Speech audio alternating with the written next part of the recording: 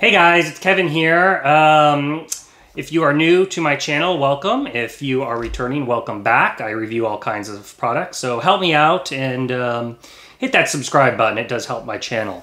So today I'm here to uh, cover a unique uh, tool, especially for um, those out there that are into woodwork or uh, metalwork and uh, plumbing pipes, etc. It is a um, digital digital caliper. Um, this is a really handy tool for precise measurements. Uh, it's straightforward. It comes in this little packaging, nothing uh, fancy. Uh, they included a um, a couple spare batteries if you need those. But let's kind of go into everything how this how this tool works. Um, you basically you you power it on. Uh, it has an on and off button. Um, it has a recalibration button, so you can uh, set this back to zero if for some reason it gets off. It shouldn't really get off. And then you can quickly change it to millimeters or inches by the press of this button.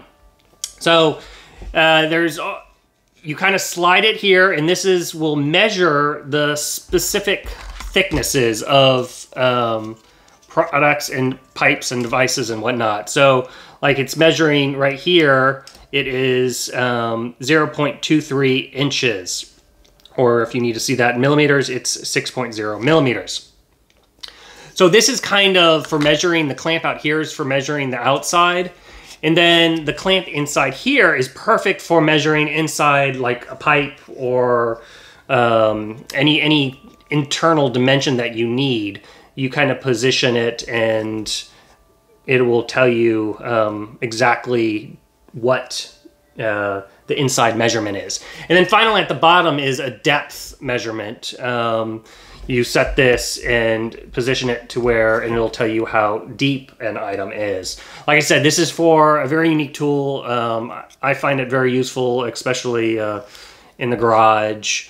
Um, the only complaint, like obviously, if, if you're doing a lot of this work for your pros out there, I'm not sure this would probably be the right fit because these are kind of hard plastic material instead of metal.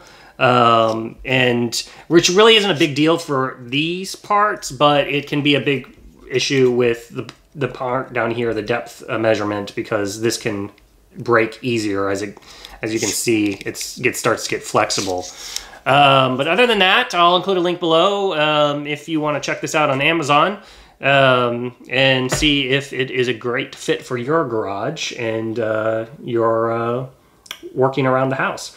So until the next review, uh, you guys take it easy. Later. You, my friend, are awesome because you made it to the end of the video. Now, if you want to be a true legend in my eyes, please hit that subscribe button. And in the meantime, if you want to check out some other videos, I would appreciate it.